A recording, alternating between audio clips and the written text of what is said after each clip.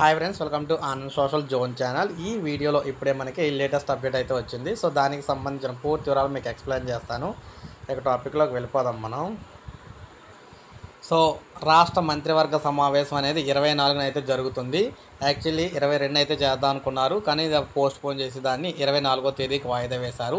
అయితే శుక్రవారం ఉదయం పదిహేను గంటలకు సచివాలయంలోని ఒకటో బ్లాక్లో ముఖ్యమంత్రి జగన్మోహన్ రెడ్డి గారి అధ్యక్షతన మంత్రివర్గ సమావేశం జరగనుందన్నమాట.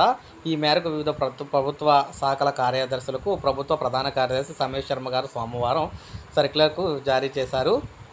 మంత్రివర్గ సమావేశంలో చర్చించాల్సిన అంశాలపై బుధవారం మధ్యాహ్నం పన్నెండు గంటల్లోగా సాధారణ పరిపాలనా శాఖ ప్రతిపాదనలు అయితే పంపించాలని ఆయా శాఖ ముఖ్య కార్యదర్శులకు సిఎస్ అయితే సూచించారన్నమాట.